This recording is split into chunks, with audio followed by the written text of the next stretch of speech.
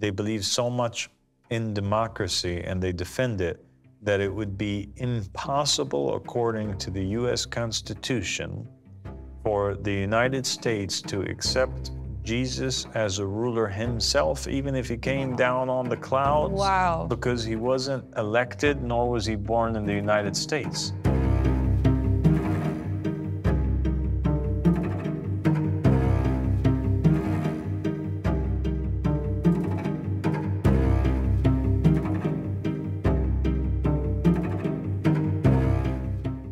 Assalamu alaikum wa rahmatullahi wa barakatuh. Uh, good to have you back, Tiffany. Thank you so much for having me here.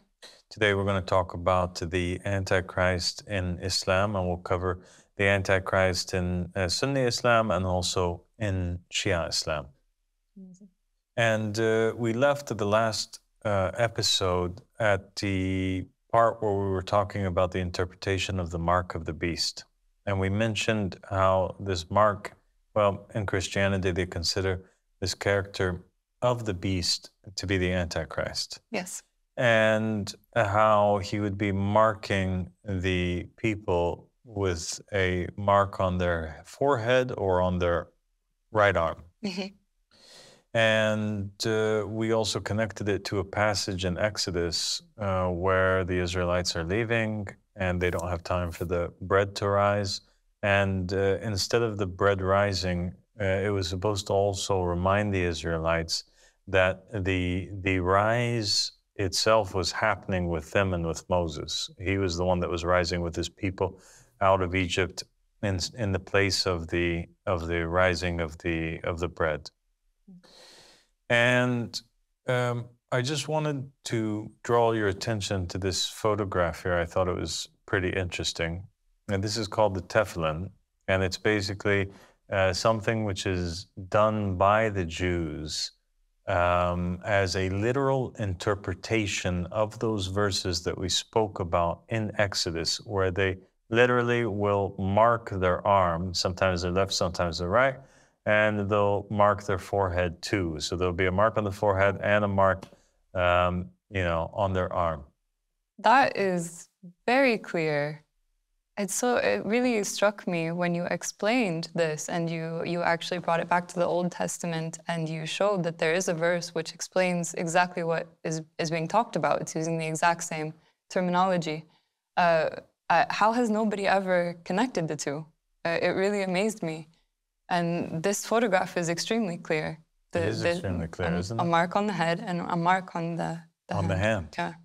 And and so this goes exactly uh, side by side. It matches then.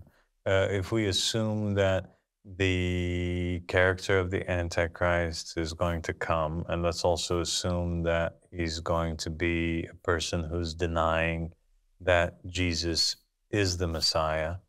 And we said that Christians and Muslims can't be the character of the Antichrist. Mhm. Um, then it would match that the Antichrist would be a Jew, and it would also match the many narrations that we have in Islam, which all mention that uh, that the Antichrist would have Jewish followers, uh, many of them. Yes, it certainly would add up in that way. That that's amazing. I mean, I, I'm seeing how all the dots are connecting. Okay, so let's talk now about the description of the Antichrist Dajjal in Islam. We basically have uh, a plethora of hadiths, of narrations, which, which have been recorded and safeguarded by the household of the Prophet Muhammad and a lot of narrations uh, that was narrated by the companions of the Prophet Muhammad, which describe the Antichrist Dajjal. Mhm. Uh, let's talk about the description of the Dajjal in Islam. Uh, there's narrations which state that the Prophet Muhammad had said that the Antichrist Dajjal would be one-eyed. And he emphasized a lot. Most of the hadiths that describe what the Antichrist in Islam looks like, it describes him as having one eye. And usually it's it's the fact that he's blind in the right eye and his left eye is functioning. And um, his right eye will be described as like having as if there's like a floating grape in it, or uh, that it's just not functioning altogether. Some narrations place the eye in the middle of the forehead, um, and it is also one of the other descriptions of the Dajjal in the Islamic traditions that he has words, letters that are written in his forehead. And these letters are plain and everybody's able to see it. And those who can read and those who cannot read are able to read what it says. And those letters are kaf, fa, ra, those uh, Arabic letters which together make the word uh, kufr, disbelief, or kaf, alif, uh, fa, ra, which make the word kafir, or disbeliever. And uh, so there's a group of Muslims that are literalists that are waiting for an antichrist who resembles a cyclops type figure and they're waiting for somebody to appear that would actually have these letters uh, etched into his forehead.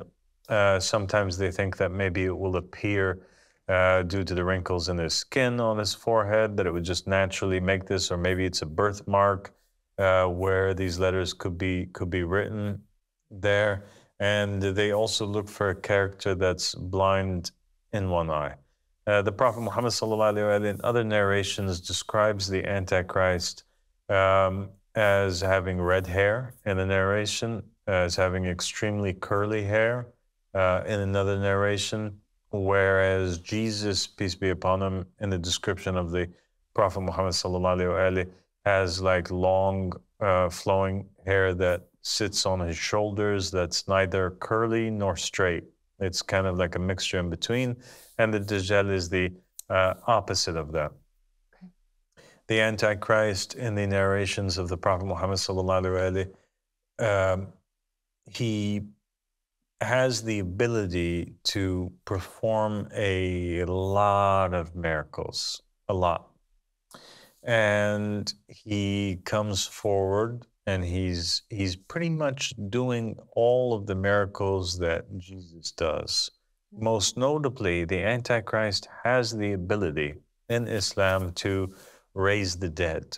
Okay. Um, and there's many narrations that state that he will go by people and he will raise for them from the dead their their dead mother, their dead father, um, and uh, this will be this will be a deception, though. Uh, in in in most of the narrations, it's stating that he has this legion of demons that are working with him, and they're traveling with him, and they take the image or the shape of the deceased persons, and therefore he deceives those people into thinking that he's doing this, and that that also this idea that the Antichrist is able to mimic these divine uh, miracles proves in it and of itself that human beings are unable to distinguish and tell who is the divinely appointed person versus who's somebody who's a deceiver or a charlatan based on miracles. People don't have the ability to distinguish. And those narrations also prove that um, believing in somebody based on miracles alone, it's it's uh, it's not a valid way of of telling, or else everybody would have had the right. Uh, everybody would have been right in following the Antichrist because he is going to come and perform great miracles. Yeah, yeah. And not all of the miracles, by the way, are deceptions. So there's an incident that takes place with the Antichrist where he actually there's there's a believing man, and this young man uh, he comes to the Dajjal, and the Dajjal demands from him that he worships him. He refuses, so the Dajjal cuts this man in half. So he's clearly dead. Mm-hmm. And then the Dajjal resurrects him uh, in front of the people. And then he asks him, Okay, who am I? Am I not your Lord? And the believer laughs and says that basically now he's more sure than ever that he is the Antichrist. And this is an event that takes place right before the coming, the second coming of, of Jesus, peace be upon him. So, so he has these fake miracles where the devils, the devils are are shape shifting, and it's like an illusion. It's not true. It's yeah. not a real resurrection that's being performed.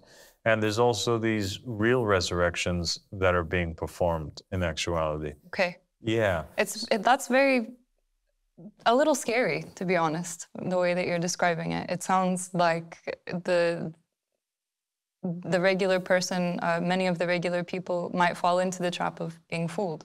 By Oh, absolutely. And his powers don't just stop there, Tiffany. Uh, it states that he'll basically pass through certain countries and he'll command the earth. He'll just stand there and he'll say, Treasures of the earth, come forward. And then he moves on. And after he moves on, all of the treasures of that land will come out of the ground. He, the narrations state that he'll supplicate to God that it rains and the the sky will bring down its rain and the earth will bring bring forward its fruit at his command. Wow. Um, there's also narrations that state that he'll pass through certain areas and he'll call the people to to worship him or to follow him and support him, and the people of that town will refuse, and then a drought will will hit them, a plague will hit them. So so everything that's happening around this antichrist character. It, it, it's always appearing as if he has absolute divine enforcement. Yeah, I can see no difference between what we've read about uh, prophets who did amazing miracles like Jesus and this description. It's it's very uh, it's very.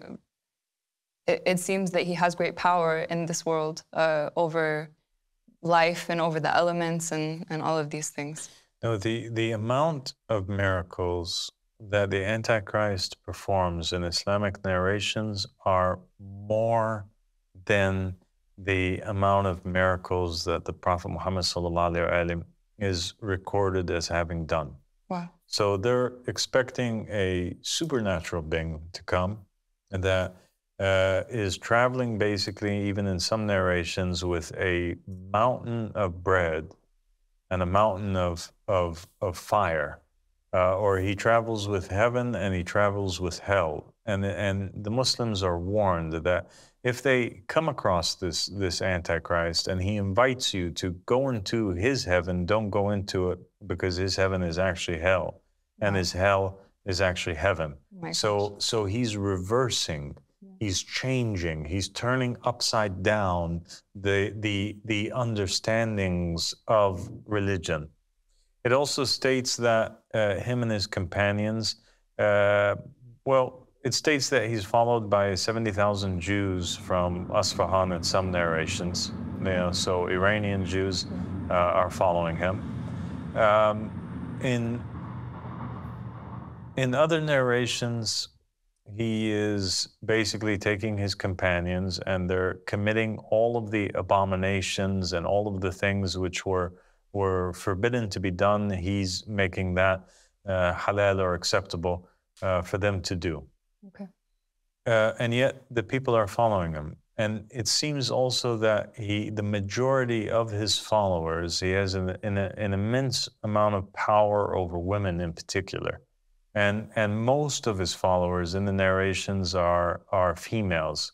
And there's narrations that state that even when certain battles are taking place in the end times, that the Muslim army will will uh, a rumor will will come out amongst the ranks that basically the Dajjal has entered into the town where their women are, and everybody's going to freak out, and they're going to want to hurry up and go home because they're afraid that the Dajjal is going to make a, a great fitna amongst amongst their women. So these are are a lot of the uh, narrations which are kind of describing um, the Dajjal, what he looks like, the events that are going to take place. Uh, there's mentioning of certain battles that happen. There's mentioning, there's a whole group of hadith narrations that mention that it's uh, that the, the Antichrist is not killed until Jesus, the son of Mary, comes down and with his own breath he just speaks and and him speaking it causes the death of the antichrist. And also uh, the death of his of his army they get rid of him and then there's a whole other group of narrations and hadiths which mention that the antichrist is killed and in particularly crucified, but not by Jesus, but by the Mahdi. Uh, that the Mahdi takes him, or the Qa'im takes him and crucifies him. Uh, in some narrations in a Kufa, in some narrations he's killed in, in Sham. So it, it differs from one narration to another. Okay. And then we have a very interesting group of narrations that pertain to the Antichrist. And they pertain to the Antichrist's appearance in the time of the Prophet Muhammad. So, one of them we had mentioned in the Armilus episode, and that was the narration where um, there was a Christian who was at sea and they lost their way until they came across this island. And then there was a monastery. And before they go into the monastery, they find this beast type creature with, with a lot of hair and it's covering his face and his back of his head. And, and he says, Come on in. Yes. Uh, there's somebody over here that wants to meet you. They go in and, and they see this man that's chained up. Uh, and so he's alive, and he's alive at the time of the Prophet Muhammad sallallahu and he begins to ask about. He, he seems to be confused. He don't know what day, what age uh, they're living in, but it seems like he's he's been waiting for a long time, and he's waiting for particular signs. And he begins to ask them, "Did this happen? Did that happen?" And then he finally asks them if there's a prophet that had appeared, you know, in Medina amongst them. And when he hears that he has, the Antichrist says, Well, that's good. And it's better for those people if they knew what I know to follow him. Um, and then, and then he reveals himself that he's the Antichrist and he's actually waiting uh, to come out and wreak uh, havoc on the earth. And the Prophet Muhammad, when he, when he heard this, he says, uh, I very much like this narration because is this not exactly what I had told you guys about the Antichrist? And then the Prophet Muhammad says, you know, he, he makes a statement where basically he says he's in the he's in the middle of the sea over here. And he refers to the sea in the Syrian Sea. And then he says, no, he's over here in this sea. And then he says, no, he's in the east, he's in the east. So there's this this um, connection in many of the narrations that the Antichrist will emerge in the East. And this was the first of the narrations that mentioned that the Antichrist is alive at the time of the Prophet Muhammad. Yes. But there's a whole nother group of hadiths that also state that he is alive in the time of the Prophet Muhammad, but they're pertaining to a particular character whose name is Ibn Sayyad, the son of Sayyad. Okay. So the story of this character called the son of Sayyad in the narrations is that this guy was a Jew. Okay, so once again you have this this this uh, theme of the Antichrist being Jewish. Okay. He's a Jewish boy, and he starts gaining a reputation amongst the people at that time because he has the ability to to prophesize things. He starts to prophesize things to the people, and it comes true. Okay. But not everything. Most of it comes true. Some of the stuff don't come true, and he's gaining quite the reputation. The news goes back to the Prophet Muhammad sallallahu and he takes one of his companions. In, in this particular narration, it's Umar ibn Khattab and they go on an expedition to check it out because now the Muslims had heard these narrations from the Prophet Muhammad. And there's this weird boy that appeared that's able to prophesize, and people are tr- beginning to treat him almost like he's a prophet. Okay. And he's a Jewish boy. And so the Prophet Muhammad uh, goes out with his companions to check it out because the Muslims are afraid. They think the Antichrist has appeared. Okay. So they begin to approach the boy and they see him and he's sitting there. And a conversation takes place between the boy and between the Prophet Muhammad. And basically, the Prophet Muhammad asks him, Do you confess that I'm the messenger of God. And the boy responds and he says, Do you confess that I'm the messenger of God? Okay. And then the Prophet Muhammad says, Well, I believe in all of God's prophets and messengers. Uh, he says to him, he says to him, Well, what am I thinking about? And then and then the boy says, Ad-dakh. And the Prophet Muhammad was thinking about Ad-Dukhan, or the surah that had just came down upon him, which was the surah of smoke, Ad-Dukhan. And um, and so Ibn Sayyad in this narration was able to receive half or partial information from the unseen about what it is that the prophet had had had known. And then the prophet proceeds to call him a liar and to dismiss his claims. And Umar ibn Khattab asks permission from the Prophet Muhammad to kill Ibn Sayyad. Okay. And the Prophet says, What is the use of killing him? Because if he is the Antichrist, you will have no power over him.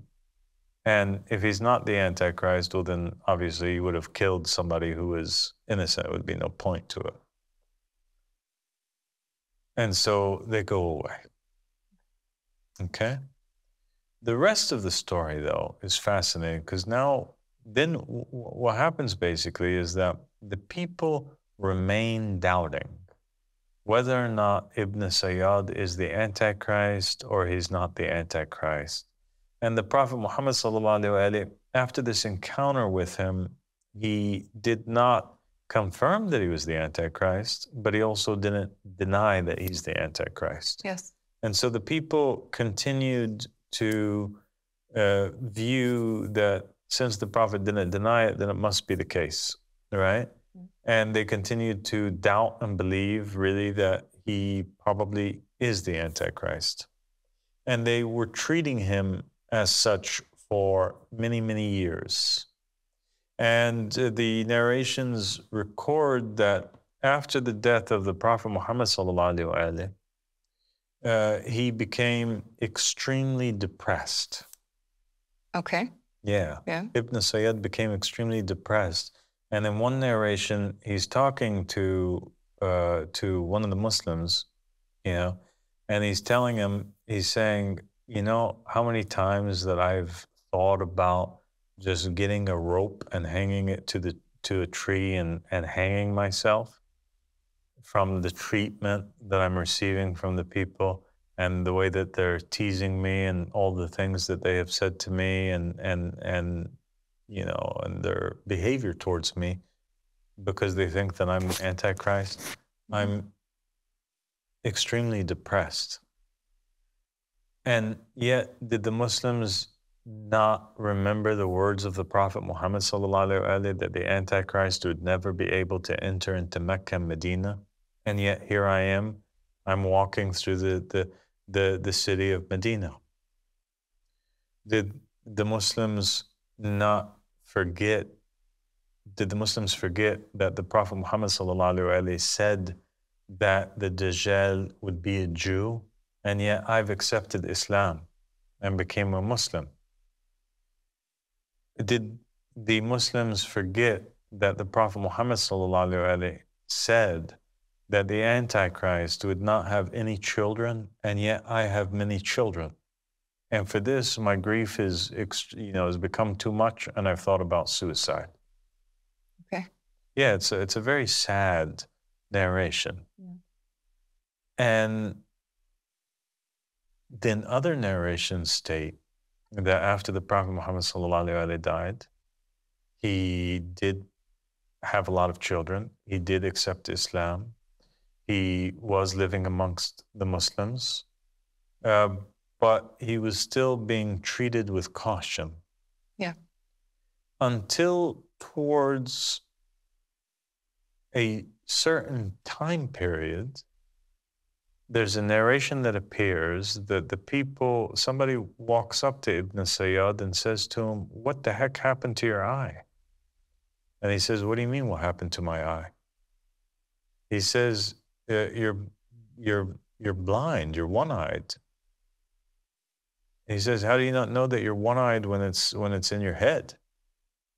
And Ibn Sayyad replies, "Well, if God wanted it to happen, then if God wanted, He could have placed my eye in your staff." So it was like a weird response. Yeah. But it seems that Ibn Sayyad, at the time of the Prophet Muhammad, he has two eyes. And after the Prophet's death, uh, he becomes one eyed. Okay, interesting.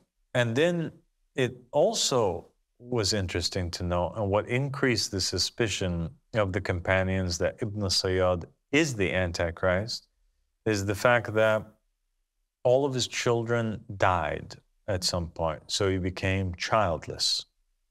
Wow. And then there was a battle in which Ibn Sayyad had partook in. And the narration states that he just disappeared. Nobody found his body. The history books register that he just disappeared. Nobody knows where he went one day Ibn Sayyad is there, the next day he's not there, he's gone. Is that the end of the story? That's the end of the story of Ibn Sayyad. That is extremely mysterious. It is mysterious, isn't it? Yes.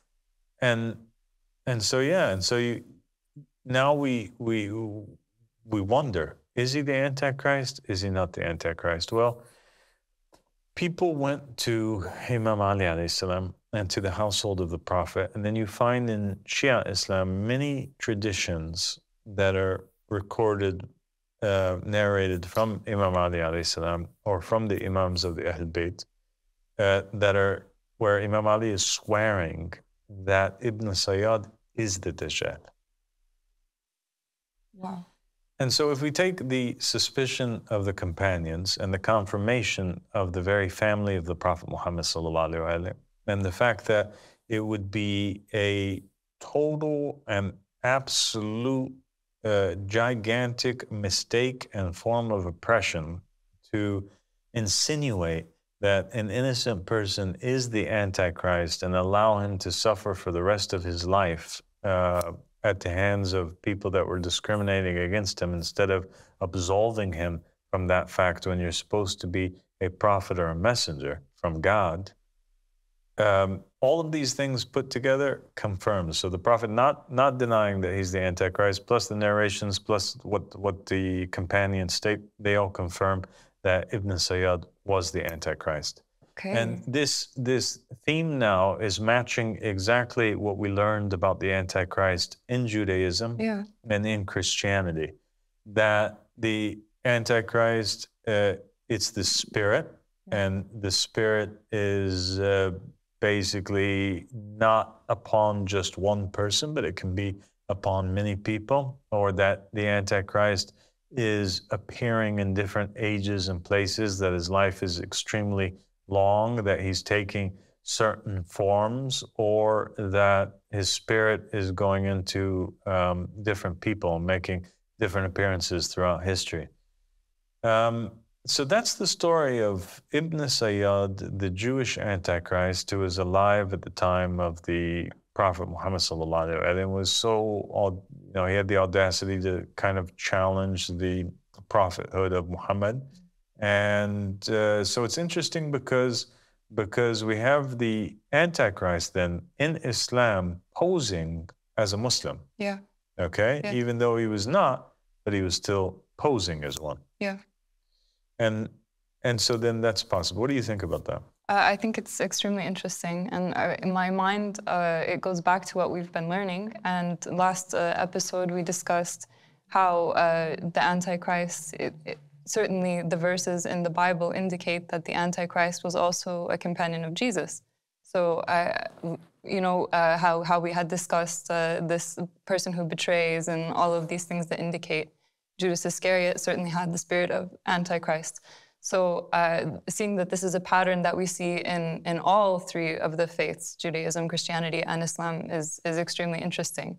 And I'm, I'm seeing that my previous understanding of the Antichrist was, was, was not complete at all. I, I, I had always learned that it's just this one figure that's going to come in the end times and oppose Jesus. But that's definitely not the whole story, as we can see from from everything that you've mentioned so far. And you know, there there is another theory in Islam, um, which is uh, very popular actually, and uh, it is that the Antichrist made an appearance too in the time of Moses as one of the companions of Moses. Really? Yes. And there's even uh, Islamic scholars that have gone on there and made uh, lectures about it, and they have connected the character of the Antichrist with the character of the Samiri in the time of, oh. of Moses, who called the people to the worship of the calf. Yeah. They state that the Antichrist appeared in the time of Moses and that he will appear in the end time. And so, if that narration is correct, then we have the Antichrist appearing in the time of Moses as the Samiri, in the time of Jesus as Judas, mm-hmm. in the time of Muhammad as Ibn Sayyad, only to return in the in the end time. And they also point out to certain narrations that state that actually the Samiri uh, after he caused the people to worship the calf, uh, he also disappeared in some narrations. He was exiled by Moses instead of killed. So he just goes uh, goes on and and uh, and disappears from the history books exactly as uh, Ibn Sayyad did.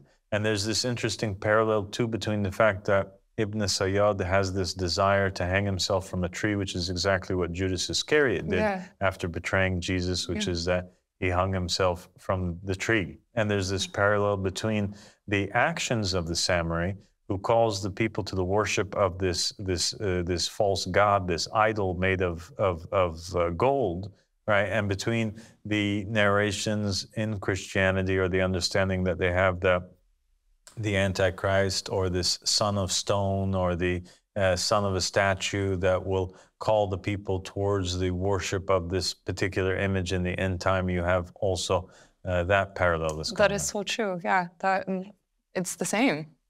It's the same. That's crazy. It is crazy. So, what now can we? How can we? How can we understand and the other signs, though, which is these these signs of the Antichrist having uh, one eye? Is it going to be in in the because now we have two different understandings of the Antichrist. One, if if we look at the narrations in Islam, Christianity, and Judaism, and we put them all together, we have we have the appearance of the Antichrist as a person. Mm-hmm. Okay? Yes. We have the appearance of the Antichrist as persons, people, yeah. or anybody who's denying that, you know, Jesus is the Messiah or that the Messiah has come is an Antichrist. So you have them appearing as individuals, but you also have this theme from the book of Daniel because it was talking about about um, these different beasts, and each one of these beasts was like a kingdom, and the association of a kingdom in the end time with the Antichrist. There's not just a, a, a person, but it's an actual country or state. Yeah. Um, and you have also the Jewish connection between the name Armilus and the fact that it's a play on words, which yeah. is Romulus. Yeah. And the understanding that the Christians had and the followers of Jesus at that time that that the antichrist or the the the figure that was against Jesus is the Roman Empire. Yeah. Because they're the ones that arrested him. They're the ones that at the request of the Jews uh, they killed him and that this empire with its emperor and that's why the theory came out that Nero for example um, was the, the Antichrist, Antichrist yeah. because he was sitting at the head of the Roman Empire, and at the same time, he was persecuting all of the followers of, of Jesus. Yeah. And so, if we look a little bit closer at what's happening in the world today, we we have this this many of the Muslim scholars that are coming out, um, and they have talked about the Dajjal being twofold. There's Dajjal as a person, uh, but there's also Dajjal as a system. Yeah. Okay? And the Dajjal as a system, as they would call it, uh, seems to match nothing more than America, because we have America, which was built on Roman principles. Uh, people think that it was built on Christian principles, but even the founding fathers denied that that was the case. Yeah. Um, it says on their money, in God we trust, on the US dollar. And and yet on there we have a symbol of God that they use, which is the eye of providence. It's the, the one, one eye. eye. So you have the modern state of Rome. Rome today yeah. is what? Is the it's United America, States. Yeah, it's like the it's based and on the, the, Roman principles, right? They, Jewish scholars, Christian scholars, Muslim scholars, when they talk about modern Rome today, they all think of America as a fulfillment of Rome today. Yeah, I mean, I'm looking at the money and I'm seeing uh, the the language of the Roman Empire. It's written here in in Latin. Yeah, and uh, there's also this uh, this idea. I mean, it's known from from biblical scholars that the fourth beast in Daniel is is a reference to Rome, and like also what's mentioned in Revelation uh, is also a reference to Rome, um, the the harlot of Babylon and the blood, uh, drinking the blood of the martyrs, and that's understood by scholars to be talking about what happened after Jesus with uh, the oppression and persecution of the Christians by the Roman Empire. So, I, but but obviously the Roman Empire is in the past. So what you're telling me now about this uh, the Roman Empire, not the Roman Empire of old, but the Roman Empire of new, is mind blowing. Uh, how this could possibly make sense with the scriptures, because obviously we know what time we're living in. Uh, many of the signs of the end times have appeared in our modern world. So if we look in our modern world, like you said, the people they the the, the scholars they, they have agreed that if, if there is a, a stand-in for Rome in today's day and age, that would that would be America. That would be America. So the Antichrist by name, by nature, he has to do, and in all of the religions, Judaism, Christianity, and Islam, the character of the Antichrist has directly to do with the Messiah, the Christ, right? um, he's the opposite of him. Um, and so, if we focus on the story of Jesus, the Messiah himself, what do we find? We find that the Jewish Messiah is sent to the Jews. He's supposed to call towards God's rule, right? Mm-hmm. That God is the one who appoints the ruler. And he's supposed to rule the entire world and that's what the Jews are expecting the Messiah to do even today.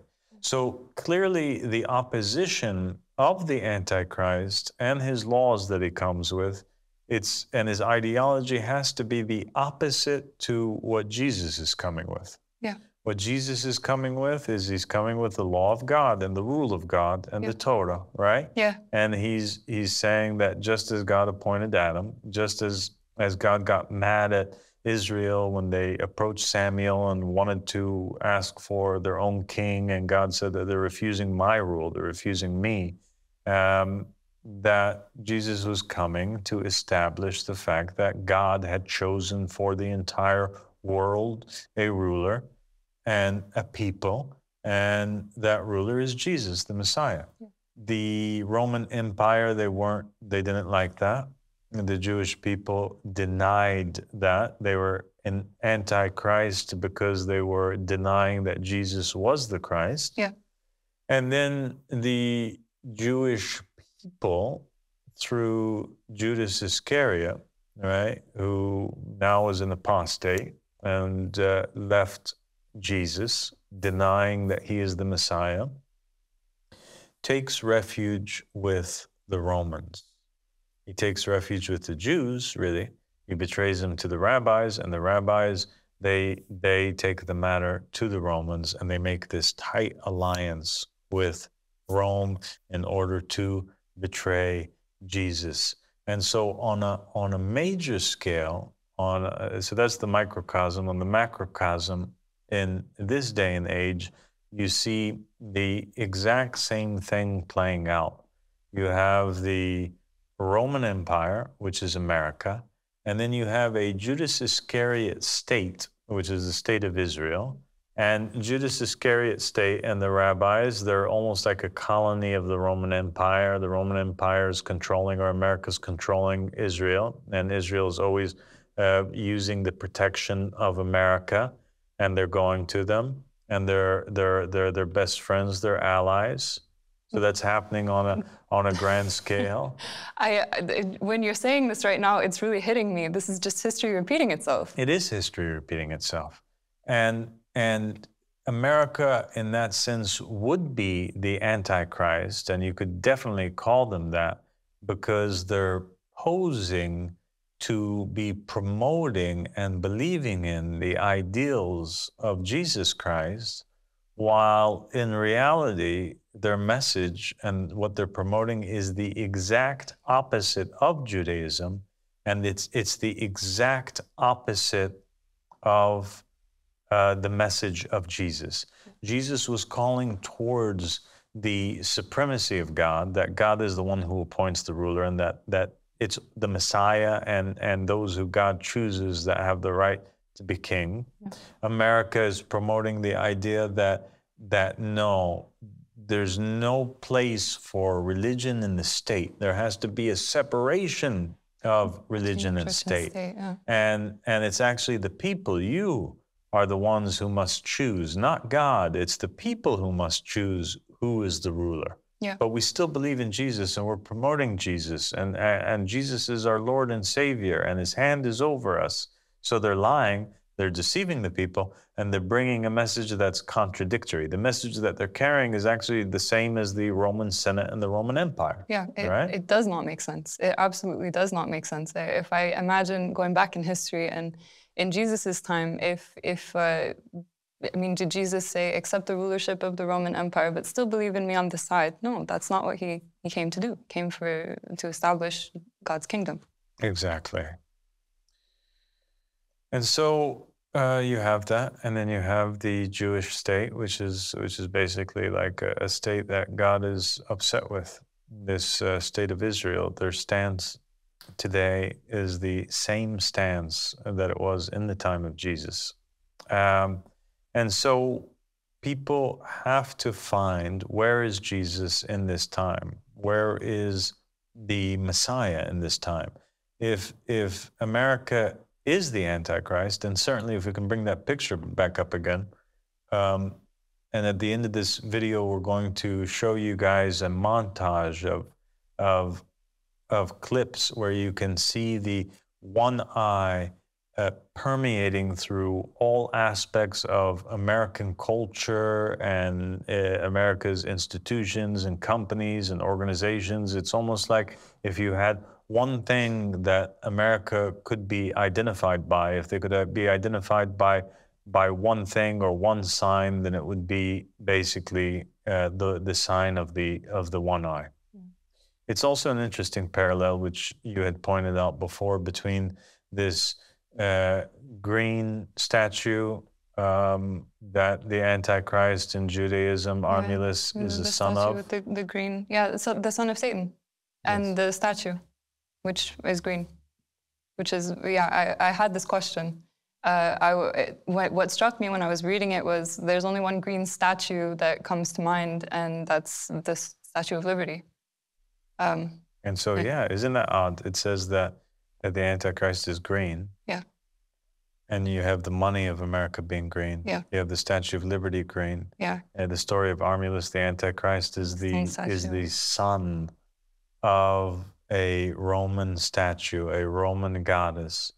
And mm-hmm. you have uh, America also having over it and being identified and associated with always this um, Roman statue. Yeah. Uh, it, it, it was really, when I read it, I started to see these little pieces adding up together, and, uh, and I had so many questions. And this really just confirms that it actually does all add up and, and make sense. Uh, I'm really blown away. I'm really blown away because it is not what people were expecting, and that's exactly the point. I think. So let's let's put it all together real quick and see if this this theory matches. Mm-hmm. So you have now um, America. Uh, it's a country. Yeah. That's matching with the prophecies in Daniel, which we spoke about. Mm-hmm. You have America's sign that's one eyed, it's mm-hmm. associated with the one eye. That's exactly uh, what we have here. Mm-hmm. Uh, we have written on the forehead, and if the forehead is the thought uh, or the belief system of a person, as we mentioned in the last episode, you know, the mark on the forehead. Yes. So, so if the Dajjal has on his forehead disbeliever yeah. or disbelief, then it would definitely match with America because America disbelieves in the idea of the merging of church and state. Yeah. They don't believe in that. Yeah. If they believe so much in democracy and they defend it, that it would be impossible, according to the US Constitution, for the United States to accept Jesus as a ruler himself, even if he came wow. down on the clouds. Wow. Because he wasn't elected, nor was he born in the United States. That's so Jesus would never qualify. The law, the Constitution itself is built in such a way that Jesus would never have a chance of, of ruling or leading the United States. That is that's crazy. I mean, I, I think your your average American would never think of such a thing, but it's absolutely true. Yes.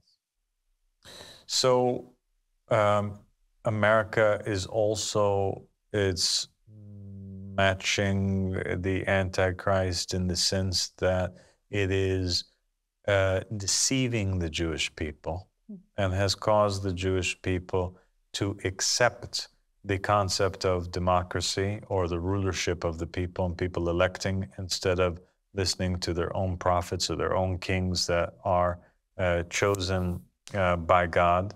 Uh, they've made the system of Israel also a democratic system. So if, a, if the Messiah was to come to Israel, he would also have no chance of ruling Israel except if they elected him. So the same thing. The same, the same thing, thing. Wow. And so, yeah, then now we're just left with so America's ticking all of the boxes.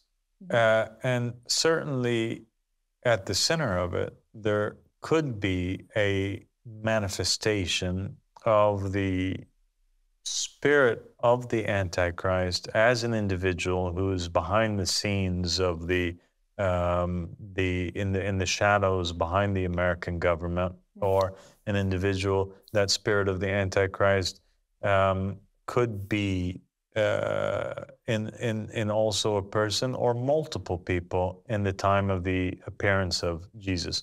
But now, how do we find Jesus? How do we find the Messiah if he appears in this time, in this day and age? It would have to be then somebody whose message is opposite and contradictory to the message of America or the Roman Empire, but at the same time, so he, he must be somebody whose ideology would be, be one that is so opposite to it that he would almost be considered an enemy of the state if he propagated it. Yeah. It would have to be an anti democratic message. It would, it would have to be a message that's matching actually the message of God in the Quran and the Torah and the Bible. Yeah. The message where God in the Quran says, Verily, I'm making a caliph in the land. I'm the one who's making a king in the land. Um, it, would, it would have to be opposite to that. And the only message that's opposite to that is the message that no, you can never. Uh, actually, one of the greatest sins that you could do is try to elect your own leader. It's only God who's able to elect the leader. Yeah. I mean, you said it. That's it. That's it. Uh, it's it seems so. It seems so strange that that it's uh, that it's so simple. Just going back to what has the message been from the very beginning, since God created Adam. It's that he he picks the ruler. That's God's message, and that's that's your message. I really can't wait to continue. Um, I'm I'm extremely interested in this topic, and uh, every time that we meet, I, I just learn so much. Um, what we learned today was amazing, and I, yeah, I, think I'm going to be thinking about it for for several days. Uh, how everything just fits together when you put everything side by side. It just it fits together and it makes sense. So thank you so much for for teaching me these things. Thank you, Tiffany, for joining us, and I'll see you again soon, inshallah. Thank you. I'll see you soon.